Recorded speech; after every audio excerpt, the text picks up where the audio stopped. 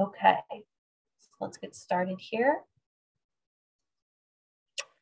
Let me tell you a little bit about who we treat here at Evolve Treatment Centers. We treat adolescents aged 12 to 17 years old struggling with mental health issues. They may come in previously diagnosed, or we may be able to work on some working diagnoses and assessments here um, and possible rule outs. Um, some of the behaviors that we do treat quite often anxiety, depression, suicidality, you know, which is a, a big one that we're discussing today, self-harm behaviors, um, mild psychosis, borderline personality disorder, um, which is a, a, big one that we see across all programs, especially here at the Van Alden location. We treat substance abuse and behavioral disorders. So even if a client doesn't meet criteria for a specific disorder, just any type of emotion dysregulation disorder they may have is something that we can work with here. So the different programs that we have um, are, are assisted by admissions matching you up with the appropriate level of care for your team. And so we do have three levels of care that we um, have spanning across our programs. Um, the highest level of care would be residential. And we'll talk a little bit more about that in the next slide. Um, then a step down from this would be partial hospitalization or PHP. And that's something that we may step our clients from RTC down to as they leave Evolve, whether it's through our own Evolve PHP or a provider back home near them. Um, after PHP is our intensive outpatient. Um, and so that may be the appropriate level of care to step down. And sometimes we do have them go through all three RTC to PHP to IOP. That gives them kind of a stepping stone and a stepping block to transition back into just weekly outpatient therapy. So that's a little bit about the Evolve programs that we have here. And for anyone that would be unsure about what level is appropriate for their, their team, you know, our admissions can help uh, kind of assess that out. So in discussing the topic that we have ready for today, um, the Evolve residential model helps um, greatly with helping suicidal behaviors and self-harm behaviors, which is gonna be our talking point today. So in our residential model, we do have 24 hour support and supervision. We have overnight wake staff and our residential counselors that work eight hour shifts throughout the day and are with clients at all times. Um, our length of stay is roughly about 30 to 60 days, which we start to assess and figure out um, week to week with, with the needs of the client. We do only have six clients per home in the residential model. Um, we are able to treat uh, co-ed, so all genders. We're LGBT um, affirming and, and support to. Um, with only having six clients in the home, each therapist has three clients each on their caseload, which may seem small, but they, they do give a lot of care and a lot of support um, to those three clients each that they have, because we do offer individual therapy that is three times weekly. We also have family therapy twice weekly, which usually will consist of a parent phone call between just the parents and therapist or caregivers. Um, and then a family session, including the client. As needed, family therapy can be bumped up to twice weekly um, as the family therapy and the family unit and system is such a big part of treatment. We do have psychiatric consultation weekly. Our clients do meet with um, Dr. Vallis weekly here at the Van Alden location and with our other um, psychiatrists if they're at different locations. We have group therapy and psychoeducation type groups all throughout the week, even um, even some on the weekends. We do offer DBT therapy four times weekly, which provides a lot of education and and lessons on the DBT skills. We have school two hours daily um, and can offer one to one patient monitoring if needed. Clients do come in um, on standard admission protocol of one to one for 24 hours, where the staff is within an arm's length of them to provide that extra support as needed. And we do have on site nursing at least eight hours of the day and on call as needed. So the therapeutic approaches that we take here at Evolve um, consist of, but are not limited to the following that we have here. Dialectical behavior therapy being a big one, uh, CBT, solution focused behavior activation um, with with getting clients kind of active and, and motivated to keep positive emotions going. Um, we have the family therapy, motivational interviewing, which can be really helpful in psychiatry. Um, we have seeking safety and relapse prevention type groups and therapeutic approaches that are really helpful and beneficial to the clients here. Okay.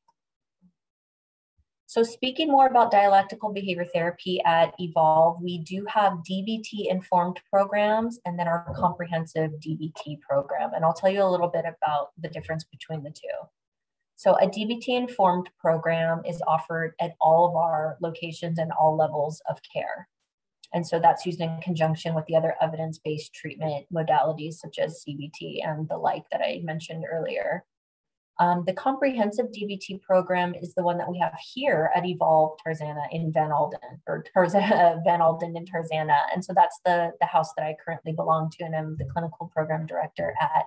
This is a fully adherent comprehensive DBT program. And what this entails is that the um, individual therapy sessions are set up to be uh, a DBT format and agenda with diary cards. We have on site skills coaching um, completed by the residential counselors um, in the moment as needed.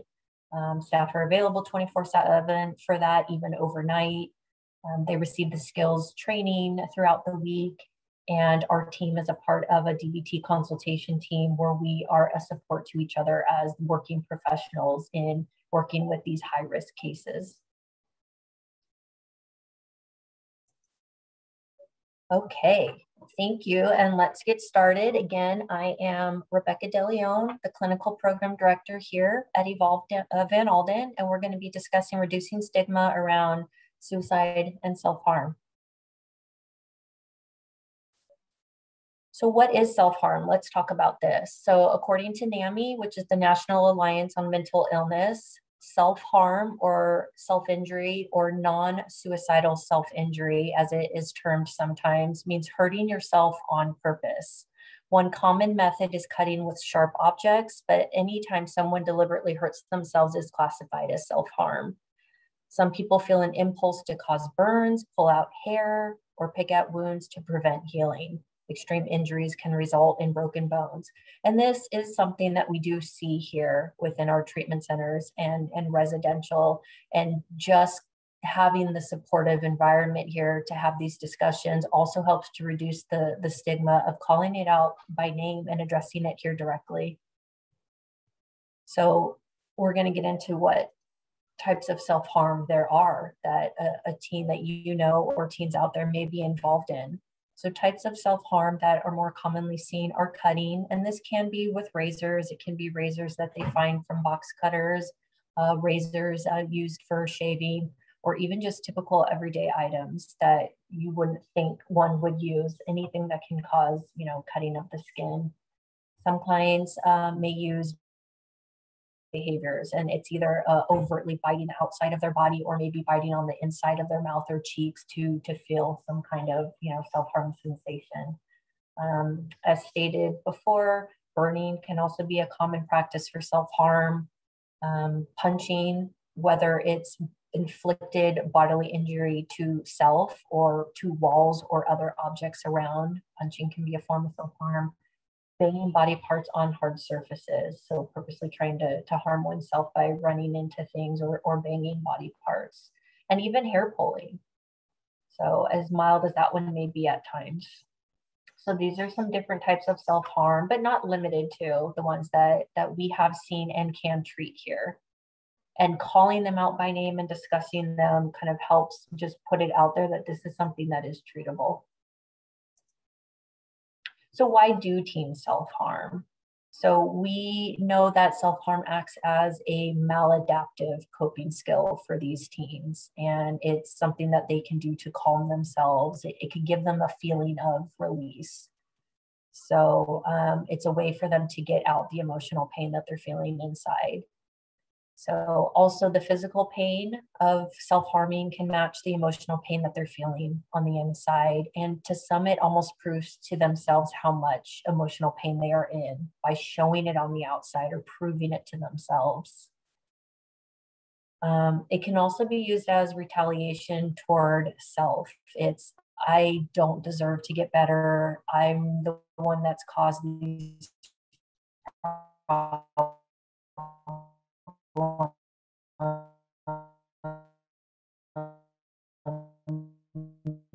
or growing up or are deserving of this or situations that they have found them in, themselves in or things that they have done to kind of make life uneasy for family members or those around them they can use it as a retaliation towards self and almost feel that they're deserving of it. So lots of different ways that teens self-harm. Uh, for some of them it's the only way they know how to kind of ground themselves so it can be more of an unhealthy way to get the body to kind of self regulate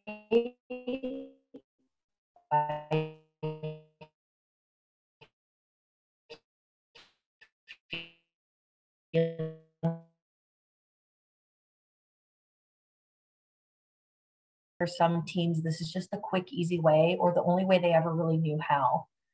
Um, some other actual reasons why teens may self-harm could be that they are trying to fit in or copy what other what other people are doing uh, around them. So we have a couple more here on this next slide. So again, talking about a way to feel something, a lot of them can feel numb and empty inside. Uh, a lot of the teens that come in with BPD or BPD traits um, or major depressive disorders feel that emptiness and feel that numbness and want to find some way to feel something. Um, and, and pain is usually a way to get that across. At times, it can also communicate the severity of their emotions. They want the outside to match the inside, also for others to see. So, this is something that they may do very um, overtly and want others to pay attention to or notice. So we also can see it as a way to seek validation from others. If I do this, maybe people will really understand the pain I'm in and start showing a little bit more attention or take me seriously. Or maybe um, friends and people will come to caretake and see if I'm okay. So there's lots of different reasons why teens self harm. And in the hierarchy that we take with DBT, we do try to address prompting events for self harm and, and help the teen understand why they're engaging in this and um, help them find other more healthy DBT skills to utilize instead. So what would be then some of the warning signs? How would you know that maybe a teen or a loved one that you know or someone around you um, might be engaging in this behavior? So there might be an increased or a sudden onset of, of drug or alcohol use. Maybe they're using that as a way to, to numb pain and um, emotional pain and then using self-harm as a way to feel again and kind of gets stuck in this this vicious cycle. Um, other warning signs mood swings. So when we see teens coming in with bpd or major depressive disorder we know that their mood can shift rapidly. They can um, you know be feeling kind of jovial and, and lighthearted and then kind of swing over to feeling more depressed and irritable. We know that teens that come in um, with major depressive disorder, it's not just a, a, deep sadness for them. This can also show up as irritability. Um, increasing low self-esteem if they feel um, that they don't have people to connect with or they're they're not kind of worth much. It, it could be like you know what do i even matter anyway? And may start to engage in some self-harm. They may start to pull away from friends and family, especially those that they maybe had a close, tight knit group with, and and even started pulling away from them. Um, wearing long sleeves or clothing in hot weather. So this would be something that we would find kind of peculiar or want to check in a little bit more about. And it, if this is something that you've seen kind of happening with a team that you know, this would be a, a helpful kind of warning sign to kind of check in and say, you know, I've noticed that you're wearing kind of a long sleeve shirt in this hot weather. Is there something that you're trying to cover up or hide? And, and maybe even straight out ask them, you know, are you engaging in self harm and trying to cover it up if you know that they've been struggling? They might start to journal suicide notes um, or write stories and fantasies about how they may want to hurt themselves or how they may want to enact um, in suicidal behavior and they, they may try to play it off that it's, it's just a story or it's just a way of expressing my emotions, but this could be a warning sign that there is more there that needs to be looked into. Um, their, their schoolwork or grades could suffer. Um, this is another issue that can come up. It's, it's really hard to stay to stay focused on school when you have these types of behaviors going on. If you're thinking about self harm, if you're thinking about suicide, if you feel like that's the only way out for you. And then for suicide, possibly giving away possessions or personal items, knowing that they may not be around anymore. Um, talking that they have no goals or things worth living for because it doesn't matter. I won't. I won't live that long anyway. Um, so that can be warning signs of increased self harm or the beginnings of suicide communication or thoughts of suicide. So, what are some increased risk factors that might put a teen kind of on the path toward these behaviors? So, societal disapproval is a big one. If teens are feeling that they're not supported in their beliefs, uh, whether it be religious, cultural, um, identity beliefs, um, what they're into and interested in, how they believe. Um, when there's when there's no kind of support group or, or niche from them, that can be an increased risk factor to kind of turn physical pain inward toward themselves. Um, of course, increased risk factors of bullying, you know, feeling that even going to school is not a safe place um, and, and, feeling like they don't have uh, people to connect with or talk with at school can increase this. An increased risk factor for looking to act on suicide is if they easily have access to lethal means, if they know that there's a weapon in the house, if they know that they could easily go get one, if they know people that have guns or weapons on them, it can make it easier for them to to seek that out and utilize that. Um, lack of resources in their community, if they don't know that there's support out there and people that they can talk to about these feelings, then that's something that's going to put them at increased risk of trying to find their own means of handling the pain that they're in. Maybe there is a loss of a relationship or abuse uh, in a relationship.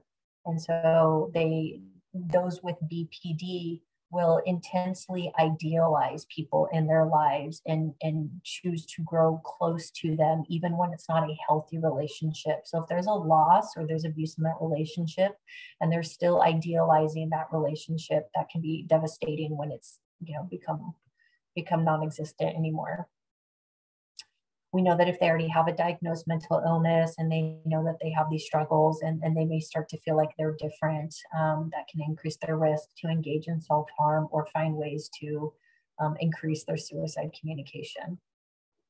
And if they've had a previous suicide attempt, it can put them higher risk to trying again.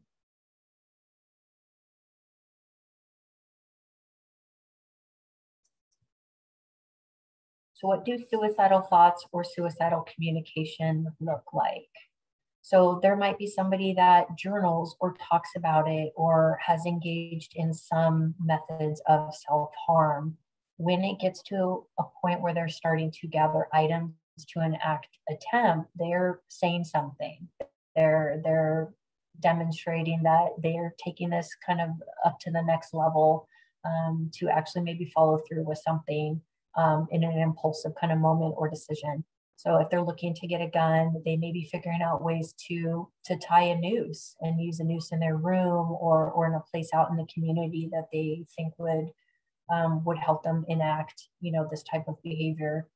Um, we see teens that come in and um, end up sharing with families that they have sharps in their room and they find different ways and different uses to engage in self harm or I need to hold on to this just in case I can't take it anymore.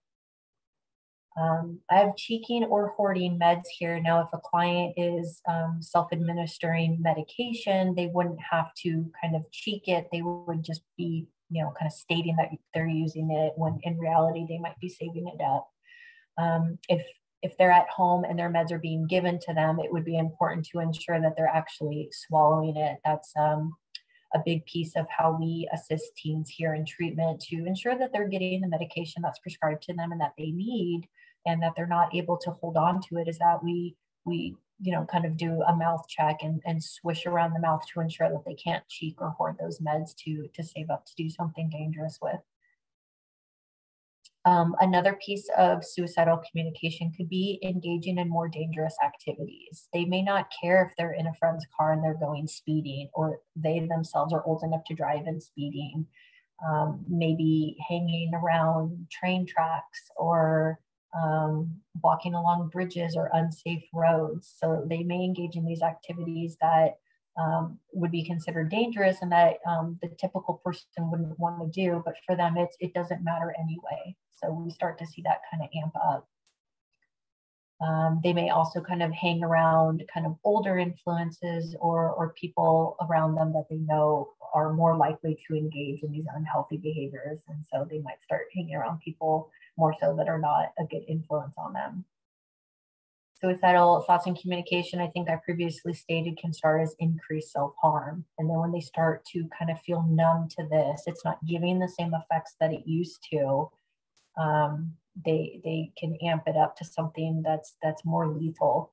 So when we see an increase in self harm, we want to kind of intervene to ensure that we can help them before it gets to a point where something is done impulsively.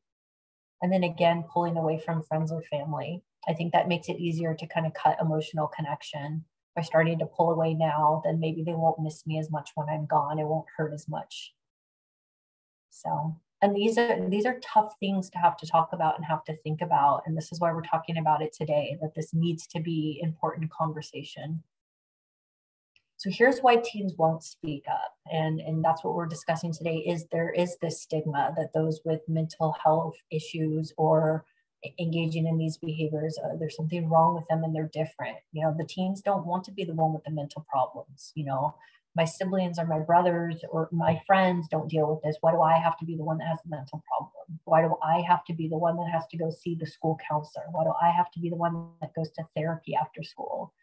you know they they don't want to be classified as different i don't think any teen really does in this regard um, if someone knew that they were seeking support or seeing the school counselor uh, would that foster more bullying? Because then people would start to kind of find out and know that there's something going on with them. And so that's something that we see uh, coming in here is that there's a, a large history of bullying for uh, the clients that we treat. They might start to think, how will this impact my future? For those of them that start to think that they could have a future, it could be, well, I don't want to say anything because I can get through it on my own. I don't want anyone to know and have this be an issue later for those that are at a place where they're thinking about a future, they're thinking about, I do still have some things worth living for, some things I would like to do. It's what would go into my medical record? What would people be able to know about me? And there's concern there about how it would impact the future. Would this impact me getting a job or going to college? Um, and then oftentimes teens don't want to worry friends or families. They think that they can deal with it on their own. I'm struggling, but if I just engage in my self harm, it helps keep me grounded. I'm okay. I don't have to, you know, burden anybody else. Um, the problem with that is that we know that self harm is not a sustainable, healthy coping skill, and it leads to greater um, concern or, or higher levels of suicidal communication. So, this is why teens won't speak up. They don't want to be the one perceived as different. They don't want to be the one to be the burden. And and so if, if we start talking about mental health and how it can be supported in ways that are just normalized this is something that they would just see as i might need a math tutor. I need some extra support in getting my homework or things done. So the importance in reducing the stigma is why we are here today is that we as mental health care providers and parents and caregivers and teachers need to be the ones to start these conversations and have these conversations as if they were everyday practice and, and a part of just kind of growing up. Of you know when you feel sad when you feel down what are ways that you cope with it? Do you feel like you're more sad than other people around you? Do you feel kind of that you're you struggle with your mood more often? Start a conversation so that we can see these warning signs and see these risk factors earlier on than than we have before don't be afraid to call it out here at um, Evolve, especially here at Evolve Van Alden with our comprehensive DBT, we call it by its name. Clients are oriented that when they come in, they're doing DBT therapy. And we have a stage of, of um, treatment that we do, and we have a hierarchy of needs. And the first hierarchy that we address before we can move on to other things are life threatening behaviors. And that would be suicide, um, intense and heavy drug and alcohol use, um, and self harm. And a teen can't start talking about a bunch of other things that they may want to start talking about if these behaviors are still on the table. So we call it out, we share what it is. And here, when they are on the floor with their peers, they refer to it as target behaviors. We don't kind of throw the language out um, so much in the in the milieu so as not to kind of trigger different clients we know that they're at different stages of their treatment when they're all here together in sessions it is it is called out and in their diary card groups it's what was your intensity of thought or an urge to engage in self-harm the day before what was your your urge or intensity of thought for increased suicide and so we do call it by name and it, it doesn't have to be something that we tiptoe around so we need to uh, take a loved one to the ER if there's concern. We do get cases that come in where they have not attempted or engaged in any kind of suicidal behavior or act, but the families or the teen themselves didn't feel like they could be safe at home. And so they were taken to an ER to be evaluated and then um, possibly sent here um, for the residential support. So there, there's nothing wrong with a a teen or a family feeling like, I don't know if I have the tools to support them in this home. I need to see if there's um, more help out there for them. And assisting them in talking with a professional and, and helping the conversation along that there are these evidence based practices out there, specifically DBT, that was designed to help treat suicide, um, communication, behavior, attempts, and self harm.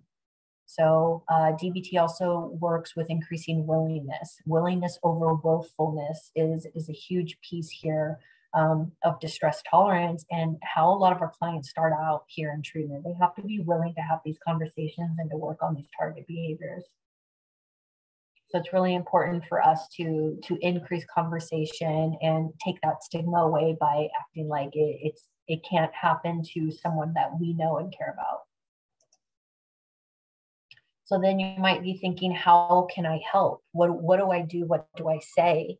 And first and foremost, it can just be to listen. If a teen is coming to you sharing that they're having some of these struggles, sharing that they're in emotional pain, sharing that they feel different, or even getting to the point of sharing that they are engaging in um, self-harm behaviors, it's to listen and, and you can ask them. So when you feel this down, what do you do? Do you use drugs?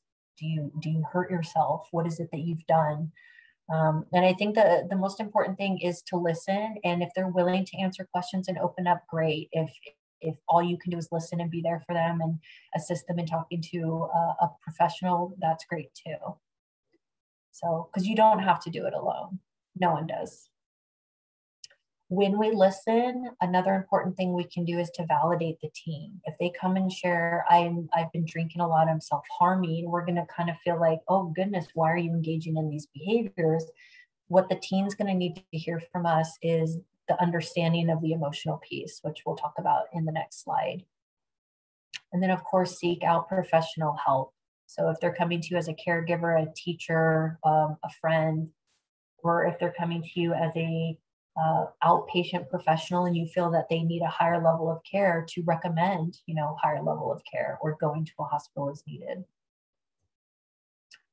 So how to validate and what to say. Validation is a huge piece in dbt um, and validation does not mean that we have to agree. So it's you know it's not well i'm not going to validate this behavior. I'm not okay with this or this is not okay it's really more so understanding the emotion behind the the behavior or the emotional pain behind what behavior you're seeing enacted. Um, so what's happening that's lending itself toward self-harm and suicidal communication. And you can talk about self-harm and suicide using the words and language, as I've been saying throughout. Don't be afraid to call it out and name it. And that helps reduce that stigma that we're saying, are you self-harming? Are you thinking about methods for suicide? Is that something that you think about? How can I support you? um, there's this there's this myth that if I bring it up, will that cause them to then want to enact on it? Will that put the idea in their head? This is untrue to where if we bring this up and ask a teen, are you thinking of suicide? Are you wishing that you were no longer here? It doesn't give them the idea. In fact, in a lot of ways, it helps validate their pain and their struggle that somebody's starting to see them. Somebody maybe is starting to pick up and understand that there's a struggle there. So validation is a huge piece of DBT and and you know a, a skill and a tactic that we use here often. This is a big piece in family uh, session and family therapy is that um, parents have struggled with their teen. You know, the, the teens aren't always innocent coming here. They they are engaging in behaviors at home that make it upsetting and difficult for the whole family. And we really do teach caregivers and families how to validate the emotion that their teen or child may be experiencing without saying that you're okay with the behaviors that they've been engaging in or, or doing. So it, it could be, it seems like you're in a lot of pain to be going on social media saying the things that you're saying or, or going out past curfew doing these things. Sounds like you're really struggling. That's a, a great way to validate without actually kind of acknowledging that it's okay that you're going out and staying out late because you're hurting. It's it's really just taking that emotional piece without agreeing or saying that you're okay with the behaviors that they're choosing to use or do.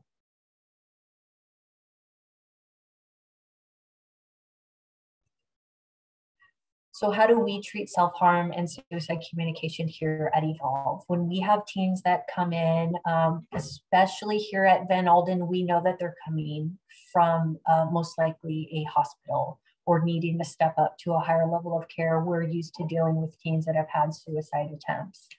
So that's why we use the comprehensive DBT treatment approach because it's clinically and evidence based proven to help reduce these behaviors. Um, they are given a daily diary card. They fill it out every morning to report on the day before, and it tracks their intensity of thought for suicide or self harm.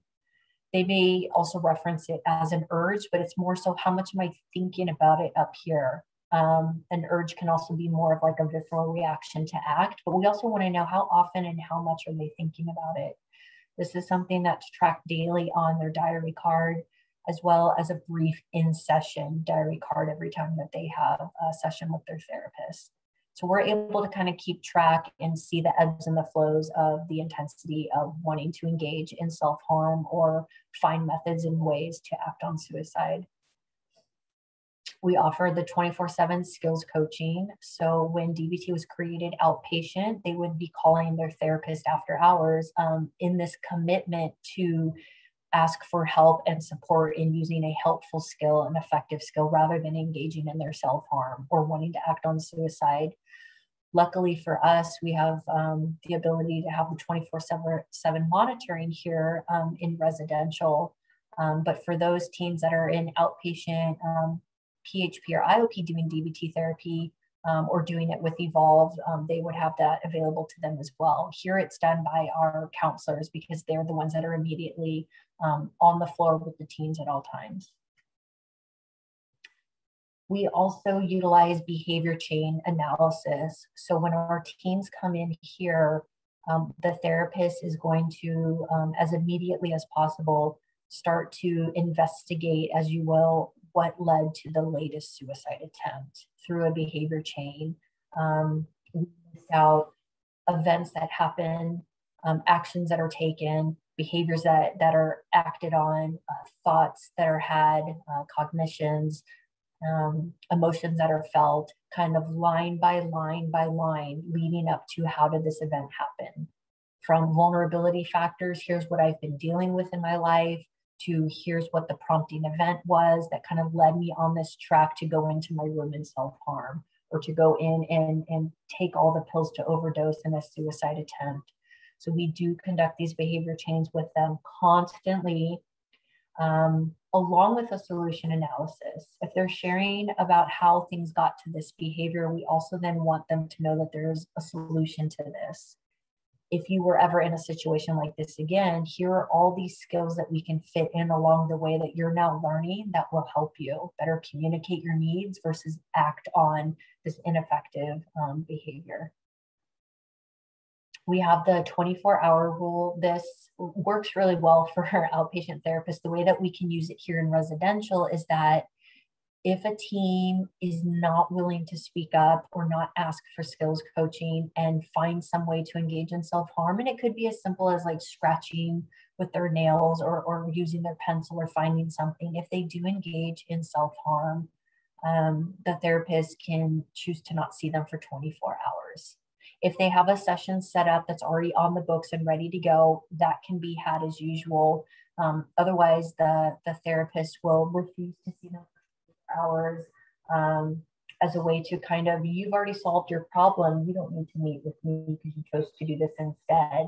The reason that this works is because we know with our um, clients with severe emotion dysregulation or the ones that have the BPD diagnosis, they really crave that one-on-one time. They they tend to enjoy their therapy sessions once they once they start to connect with their therapist, and so they'll find this 24-hour rule aversive and want to find any means possible to still be able to connect and have those sessions. Um, so we're constantly assessing risk. If we know that teens have a, a, a self-harm history and suicide communication or attempts, um, we're constantly assessing. They come in, um, get in the full scale Columbia assessment and self harm assessment. We'll reevaluate after 24 hours and then as needed when new information is brought up or discussed by the team for us to reevaluate their, their safety and we have ways for increasing methods of safety. If a teen, um, no matter what level is on, is needing more support, we can put them back on a one-to-one um, support where, where the staff is nearby and with them at all times for the teen to feel like they're just immediately right there for me to reach out as needed.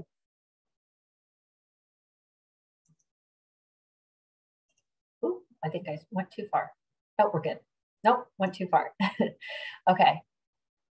So as I talked about, we have the 24 hour support and supervision here in residential. Clients must be in line of sight, in line of hearing. We want to know if teens are talking about self-harm or suicide. We don't want this being discussed in the know you, or we want them to know that we're going to be listening in, in, in as a way to provide oversight, but as a way of showing them that we're here to support them.